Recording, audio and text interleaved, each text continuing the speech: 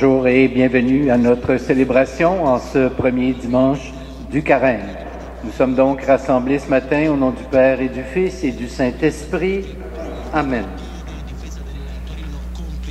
Nous entrons donc dans ce pèlerinage, pèlerinage du carême, que le Seigneur Jésus, notre guide et notre pasteur, nous conduise dans l'esprit vers la gloire du Père et que sa paix soit toujours avec vous. Frères et sœurs, comme vous le savez sans doute, nous fêtons cette année le 375e anniversaire de la Fondation de Montréal. L'Église, qui est à Montréal, veut profiter de cette occasion pour évoquer l'élan missionnaire des hommes et des femmes qui ont participé à la fondation et à la réalisation de ce qui allait devenir notre belle ville de Montréal.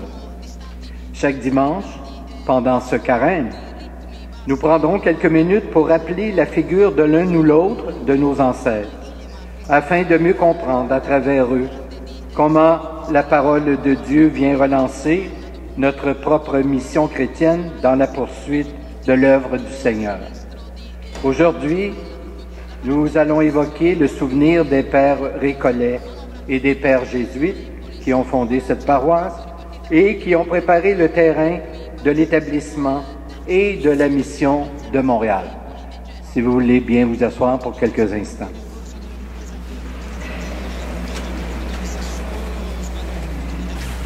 Les Récollets et les Jésuites. Samuel de Champlain, maître d'œuvre de l'établissement de la nouvelle colonie française en terre d'Amérique, voulut en compléter l'organisation en lui donnant des missionnaires chargés de la conduite religieuse des Français et de la conversion des sauvages que l'on désigne maintenant comme des Amérindiens. Les Récollets abordent les rives du Saint-Laurent à Tadoussac, puis à Québec au printemps 1615. Ils vont rejoindre Champlain sur l'île de Montréal et y célébrer la première messe en terre canadienne le 24 juin 1615. Pour leur survie, les Récollets s'occupèrent de la culture de la terre et il s'agit très certainement des premiers agriculteurs à Québec.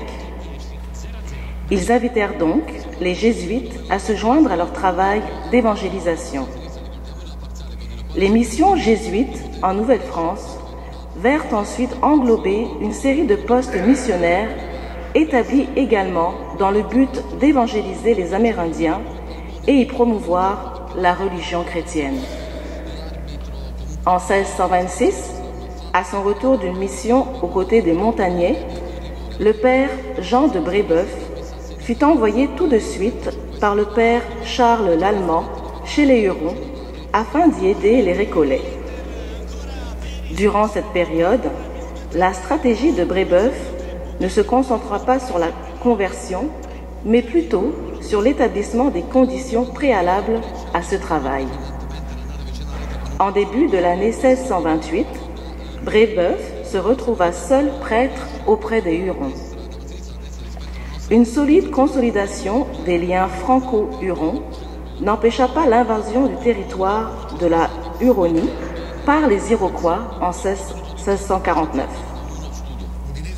Le 16 mars 1649, Brébeuf furent torturés et tués. Il complétait la liste des martyrs canadiens, six missionnaires jésuites et deux laïcs.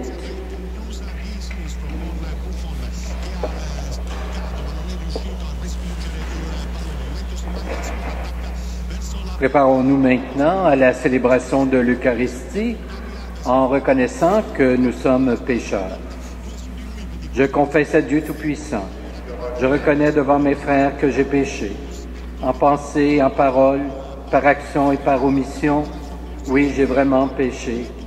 C'est pourquoi je supplie la Vierge Marie, les anges et tous les saints, et vous aussi, mes frères et sœurs, de prier pour moi, le Seigneur notre Dieu. Que Dieu Tout-Puissant nous fasse miséricorde, qu'il nous pardonne nos péchés et nous conduise à la vie éternelle.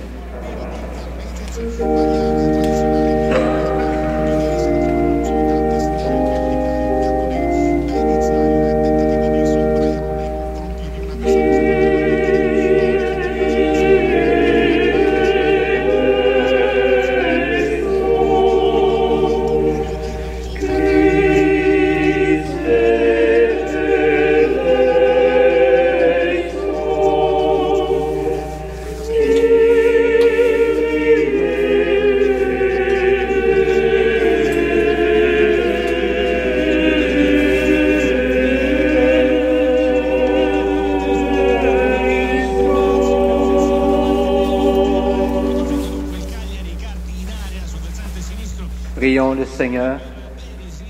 Accorde-nous, Dieu Tout-Puissant, tout au long de ce carême, de progresser dans la connaissance de Jésus-Christ et de nous ouvrir à sa lumière par une vie de plus en plus fidèle.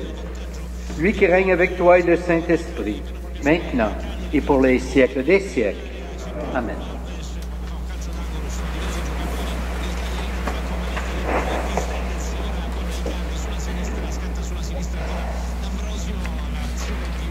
Lecture du livre de la Genèse.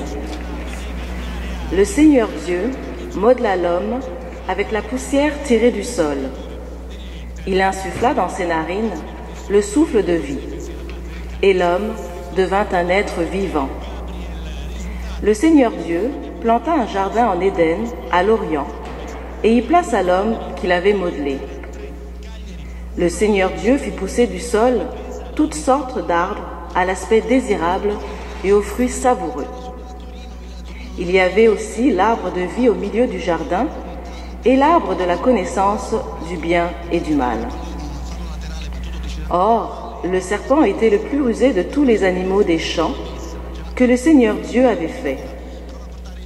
Il dit à la femme, Alors, Dieu vous a vraiment dit, vous ne mangerez d'aucun arbre du jardin? La femme répondit au serpent, Nous mangeons les fruits des arbres du jardin. Mais, pour le fruit de l'arbre qui est au milieu du jardin, Dieu a dit, Vous n'en mangerez pas, vous n'y toucherez pas, sinon vous mourrez. Le serpent dit à la femme, Pas du tout, vous ne mourrez pas. Mais Dieu sait que le jour où vous en mangerez, vos yeux s'ouvriront et vous serez comme des dieux, connaissant le bien et le mal. La femme s'aperçut que le fruit de l'arbre devait être savoureux, qu'il était agréable à regarder et qu'il était désirable, cet arbre, puisqu'il donnait l'intelligence. Elle prit de ce fruit et en mangea. Elle en donna aussi à son mari et il en mangea. Alors leurs yeux à tous deux s'ouvrirent et ils se rendirent compte qu'ils étaient nus. Parole du Seigneur.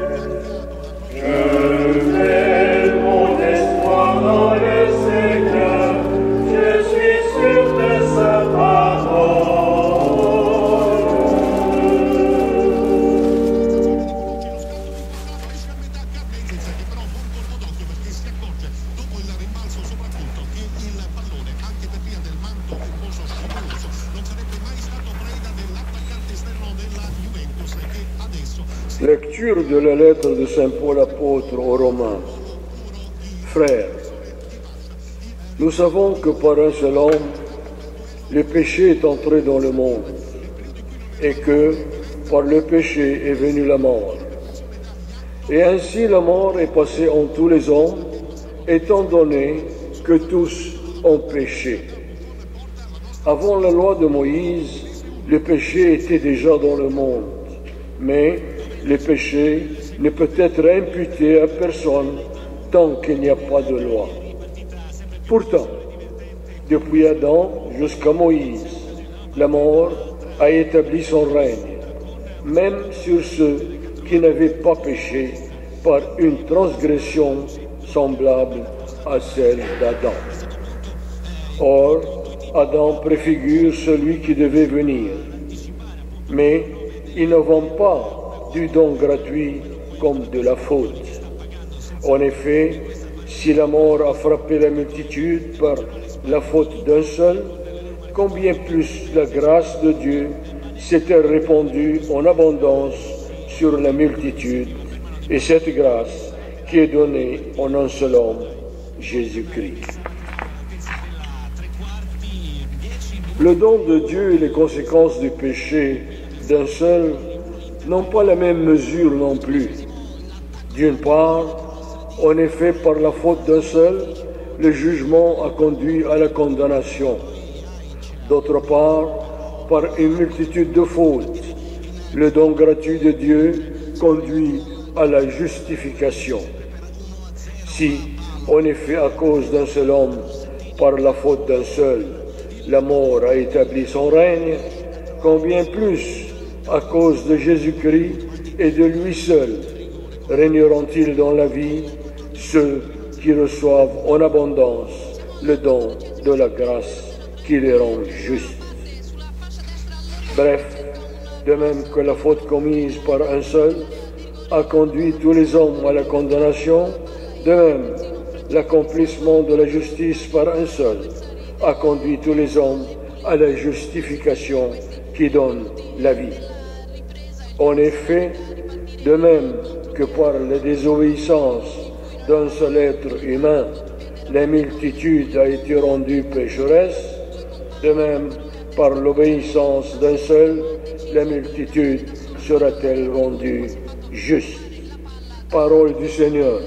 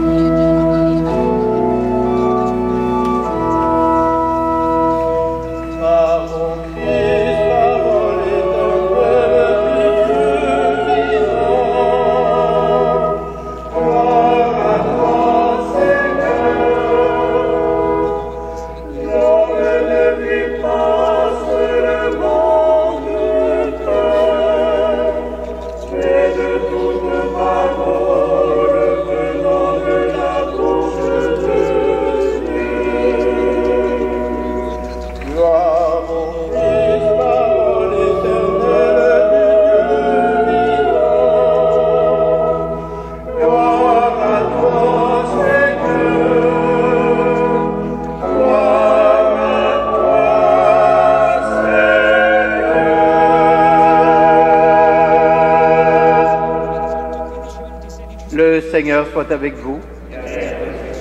Voici maintenant la bonne nouvelle de Jésus-Christ selon Saint Matthieu. Gloire à toi, Seigneur. En ce temps-là, Jésus fut conduit au désert par l'Esprit pour être tenté par le diable. Après avoir jeûné quarante jours et quarante nuits, il eut faim. Le tentateur s'approcha et lui dit, Si tu es fils de Dieu, ordonne que ces pierres deviennent des pains. Mais Jésus répondit, Il est écrit, L'homme ne vit pas seulement de pain, mais de toute parole qui sort de la bouche de Dieu. Alors le diable l'emmena à la ville sainte, le place au sommet du temple et lui dit, Si tu es fils de Dieu, jette-toi en bas, car il est écrit, il donnera pour toi des ordres à ses anges, et ils te porteront sur leurs mains, de peur que ton pied ne heurte une pierre. Jésus lui déclara, Il est encore écrit, Tu ne mettras pas à l'épreuve le Seigneur ton Dieu. Le diable l'amène encore sur une très haute montagne. Il lui montre tous les royaumes du monde et leur gloire. Il lui dit, Tout cela je te le donnerai, si tombant à mes pieds, tu te prosternes devant moi. Alors Jésus lui dit, Arrière, Satan, car il est écrit, c'est le Seigneur ton Dieu que tu adoreras, à lui seul tu rendras un culte. Alors le diable le quitte, et voici que des anges s'approchèrent et ils le servaient. Acclamons la parole de Dieu.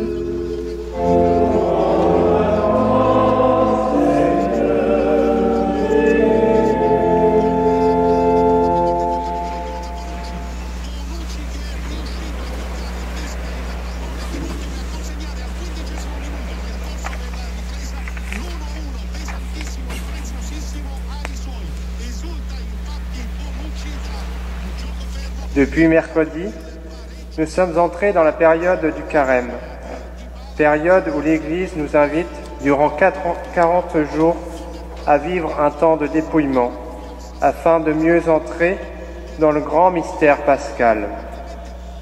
Avant le Concile Vatican II, l'Église demandait à ses fidèles de respecter un jeûne durant ces quelques semaines. Aujourd'hui, ce geste n'est plus obligatoire, mais chacun est libre de se priver de quelque chose en se disant que ce manque, nous l'offrons à Dieu, sauf le mercredi décembre et le vendredi saint. Ainsi, aujourd'hui, les textes nous invitent à résister à la tentation. Dans la première lecture, nous avons pu entendre que l'homme est créé par Dieu. Celui-ci lui donna le jardin en Éden avec tout ce qu'il faut pour vivre. Mais l'homme ne devait pas manger le fruit de la connaissance du bien et du mal. Et là, nous reconnaissons la faiblesse de l'être humain qui se laissa tenter et commis la faute originelle.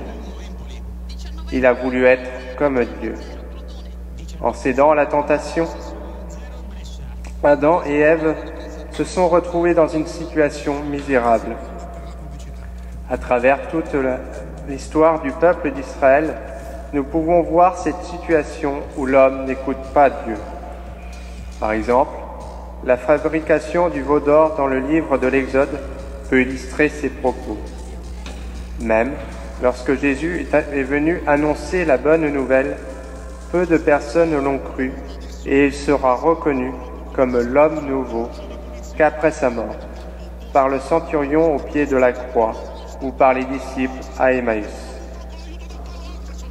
Jésus, après son baptême, est emmené au désert pour vivre quarante jours et être tenté trois fois.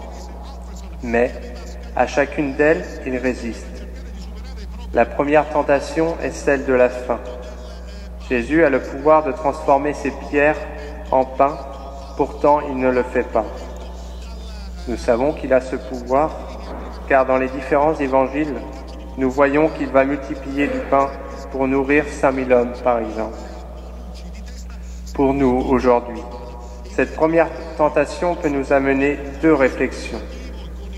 La première, et comment, face à l'énorme pression de la société de consommation, pouvons-nous toujours résister à la tentation? Lorsque nous achetons le dernier téléphone ou bien la dernière voiture, posons-nous la question, en ai-je vraiment l'utilité? La deuxième réflexion se trouve dans la réponse de Jésus. Celui-ci répond que l'homme ne se nourrit pas que de pain, mais aussi de la parole de Dieu. Ainsi, quand nous venons à la messe, nous venons rencontrer le Christ dans l'Eucharistie, mais aussi l'écouter dans sa parole qui est importante. L'Église utilise souvent l'image des deux tables pour illustrer cela, la table de la parole et la table de l'Eucharistie. La deuxième tentation est la mise à l'épreuve de Dieu. Nous pourrions utiliser Dieu comme un pouvoir magique qui nous permettrait d'accéder à tout ce que nous souhaitons. Le pape François appelle cela le paradigme technocratique. Cette fuite en avant nous déresponsabilise. Pourquoi s'occuper par exemple de la dégradation de notre terre commune créée par Dieu et qui nous l'a confiée? La science et la technologie d'aujourd'hui trouveront bien des solutions pour lutter contre cela. Au contraire, il faut résister à cette tentation, prendre nos responsabilités et œuvrer pour l'intérêt commun. Enfin, la troisième tentation, Jésus répond au tentateur que nous adorons qu'un seul Dieu. Dans le contexte de l'époque où vit Jésus, cela peut se comprendre. En effet, les Romains étaient des gens qui adoraient plusieurs dieux et rendaient des cultes différents. Mais nous, aujourd'hui, avec le mélange des sociétés, des diverses cultures, nous pouvons être tentés de prendre ce qui nous intéresse dans diverses religions comme si cela était magique. Jésus nous demande au contraire de rester fidèles à nos traditions, nos valeurs, même si parfois cela nous coûte ou nous prive de certaines choses. même si la faute commise par un seul homme conduit tous les hommes à la condamnation. Extrait de la lettre de Saint Paul lue en ce jour. Par la mort et la résurrection d'un seul homme, nous serons sauvés. Cela signifie que nous sommes tous condamnés par la faute originelle, mais par notre baptême, cette faute est enlevée. Mais, comme nous le savons, l'être humain est faible et parfois la tentation de pécher est plus forte. L'Église nous propose alors de vivre le sacrement de réconciliation où le Christ nous offre son pardon.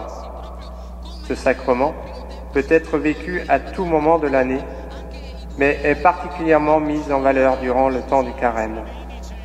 Pour nous préparer à recevoir ce sacrement, nous pouvons reprendre le psaume 50 présent dans la liturgie de ce jour.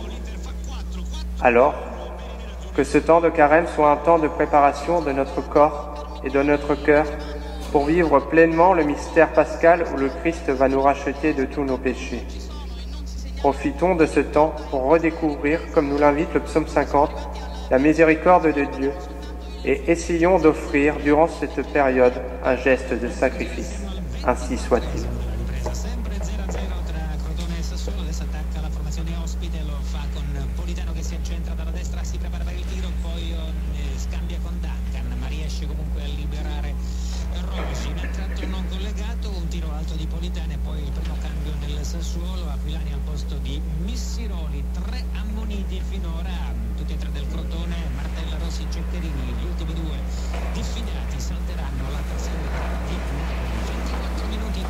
La tentation, elle est toujours actuelle et sous bien des formes.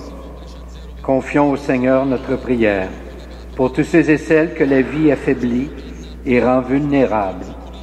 Après chacune des intentions, nous garderons un court moment de silence.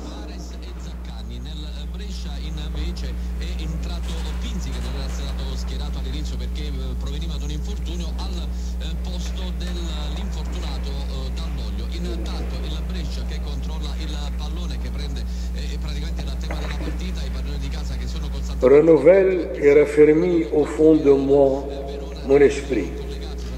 Père, bénis nos efforts de conversion et nos gestes de miséricorde tout au long de ce carême et donne au pasteur de ton Église le goût de la prière.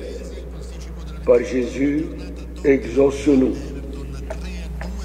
L'homme ne vit pas seulement de pain, mais de toute parole venant de la bouche de Dieu. Père, creuse en nous cette faim de ta parole et donne du pain aux exilés, aux pauvres et aux plus affamés. Par Jésus, exauce-nous. Tu ne pèteras pas à l'épreuve le Seigneur ton Dieu.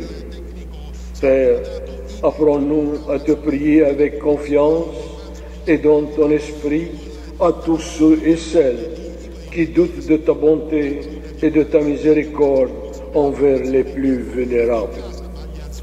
Par Jésus, exauce-nous. Rends-moi la joie d'être sauvé. Père, aie pitié de nous, car nous avons péché, et donne la fidélité et la joie de suivre Jésus à tous les catéchumènes qui sont appelés aujourd'hui au sacrement de la Pâque. Par Jésus, exauce-nous.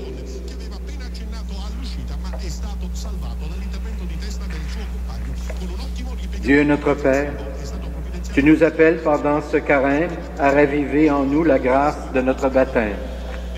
Que ton esprit nous soutienne dans nos combats et nous apprenne à puiser dans la richesse de ta parole à la suite de Jésus le Christ, notre Seigneur. Amen.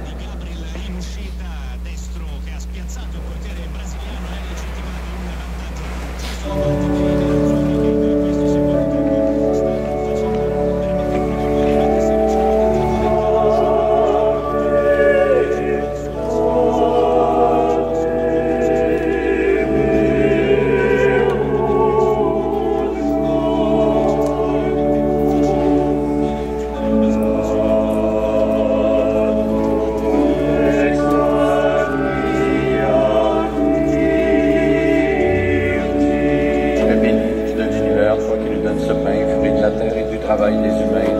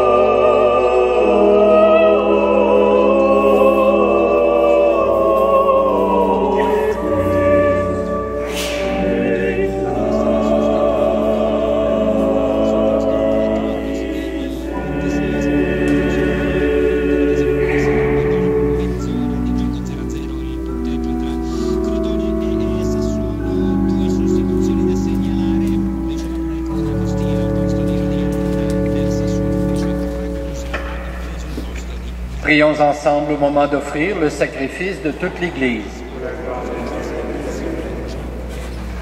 Avec cette Eucharistie, Seigneur, nous commençons notre marche vers Pâques. Fais que nos cœurs correspondent vraiment à nos offrandes. Par Jésus le Christ, notre Seigneur. Le Seigneur soit avec vous.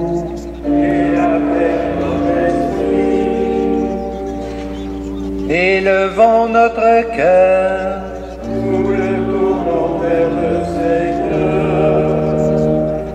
Rendons grâce au Seigneur notre Dieu.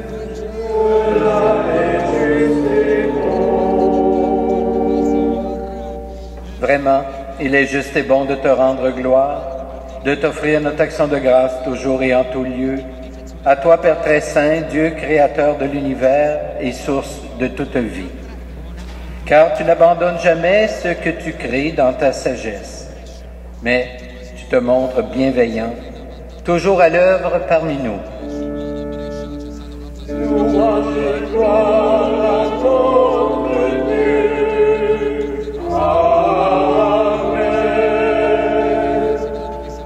Dans les temps anciens, en déployant la force de ton bras, tu as guidé ton peuple Israël à travers le désert. Aujourd'hui encore, tu accompagnes ton Église dans sa marche au milieu du monde, tu la soutiens de ton esprit et tu la conduis sur les routes de ce temps vers la joie éternelle de ton royaume par notre Seigneur Jésus le Christ.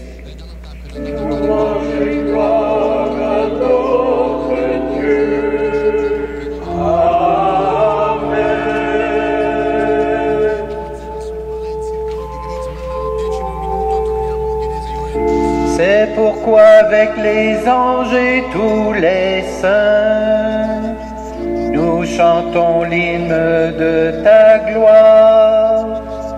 Et sans fin nous proclamons.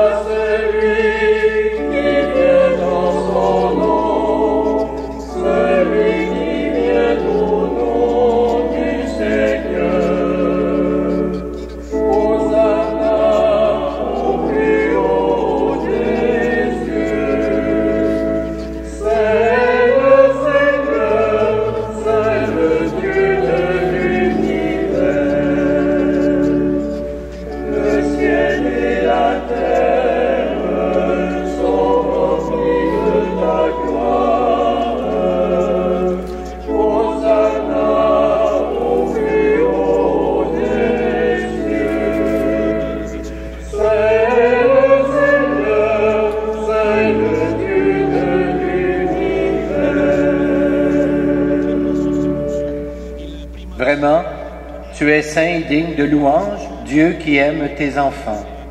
Toi qui es toujours avec eux sur les chemins de cette vie. Vraiment, ton Fils Jésus est béni, lui qui se tient au milieu de nous quand nous sommes réunis en son nom. Comme autrefois pour les disciples d'Emmaüs, il nous ouvre les Écritures et nous partage le pain. Maintenant donc, Père de toute grâce, nous t'en prions, envoie ton Esprit Saint afin qu'il sanctifie nos offrandes, que ce pain et ce vin deviennent pour nous le corps et le sang du Christ, notre Seigneur. Évoquons avec foi la puissance de Dieu. Que l'Esprit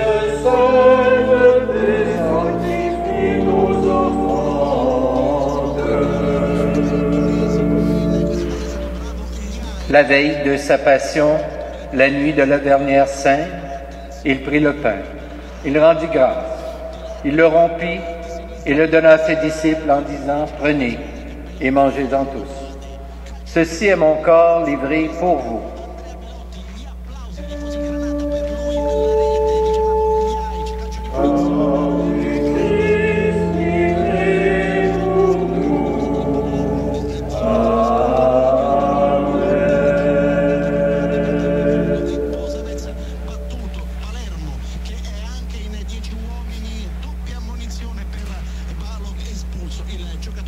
Même, à la fin du repas, il prit la coupe, de nouveau il rendit grâce. Et la donna à ses disciples en disant, prenez et buvez-en tous. Car ceci est la coupe de mon sang, le sang de l'alliance nouvelle et éternelle, qui sera versé pour vous et pour la multitude en rémission des péchés. Vous ferez cela en mémoire de moi.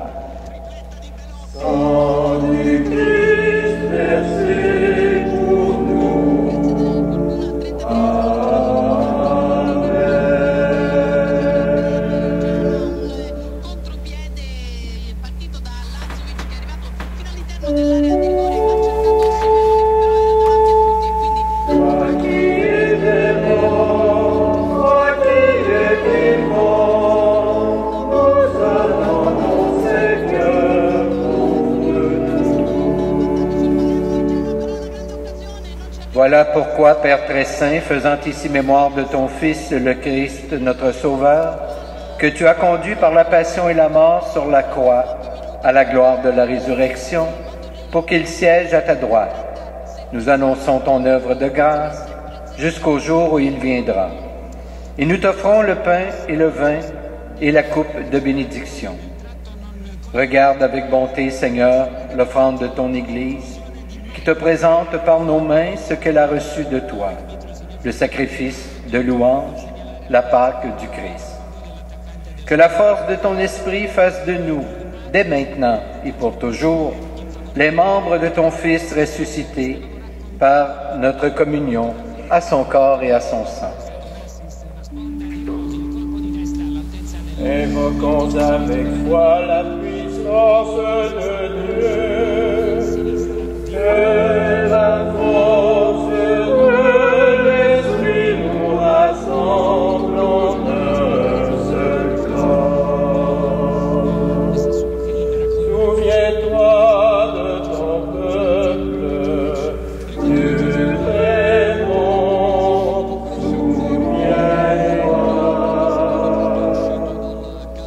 qui nous invites à cette table, Seigneur, nous te prions de nous fortifier dans l'unité.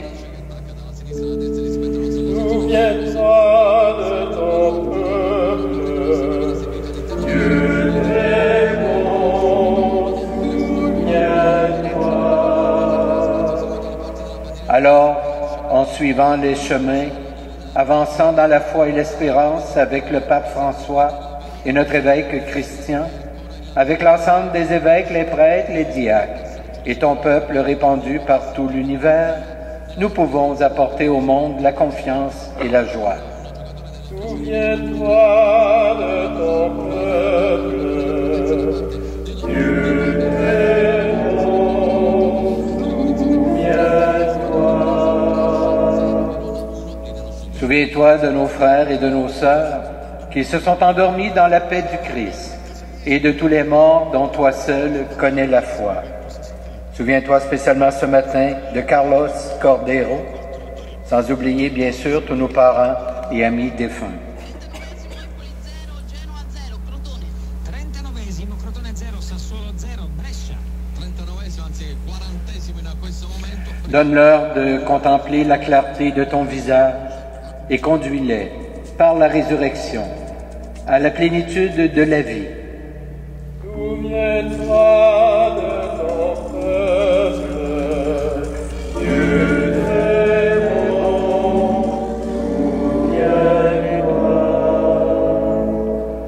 Et lorsque prendra fin notre pèlerinage sur la terre, accueille-nous dans la demeure où nous vivrons près de toi pour toujours. Peuple, Dieu souviens-toi. En union avec la Vierge Marie, l'Immaculée Conception, la bienheureuse Mère de Dieu, avec Saint Joseph son époux, avec les apôtres, les martyrs et tous les saints et saintes du ciel, nous pourrons alors te louer sans fin et magnifier ton nom par Jésus le Christ, ton Fils bien-aimé. À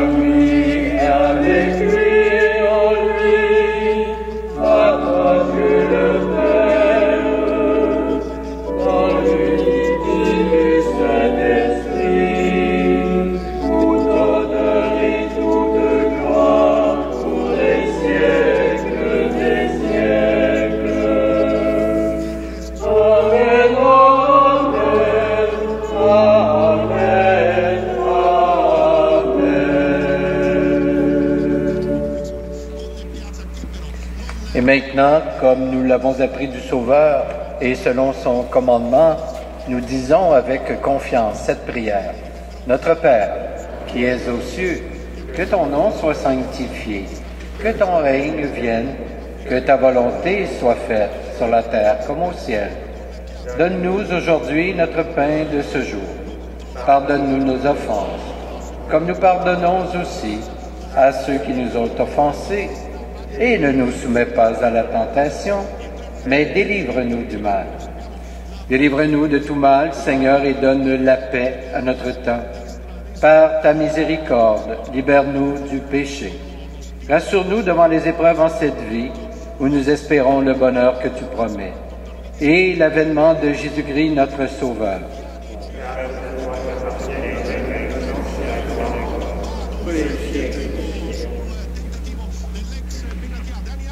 Seigneur Jésus-Christ, tu as dit à tes apôtres, je vous laisse la paix, je vous donne ma paix. Ne regarde pas nos péchés, mais plutôt la foi de ton Église. Pour que ta volonté s'accomplisse, donne-lui toujours cette paix et conduis-la vers l'unité parfaite, toi qui règnes pour les siècles des siècles. Amen. Que la paix du Seigneur soit toujours avec vous.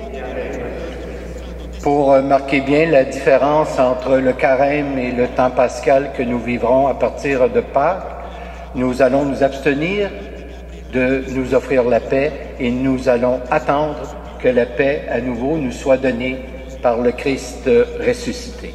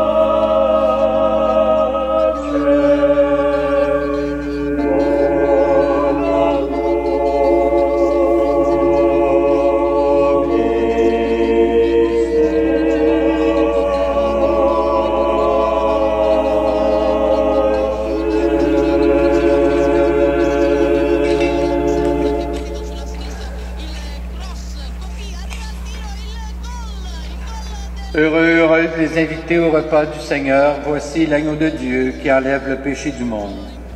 Seigneur, je ne suis pas digne de te recevoir, mais dis seulement une parole et je serai guéri. Que le corps du Christ nous garde pour la vie éternelle.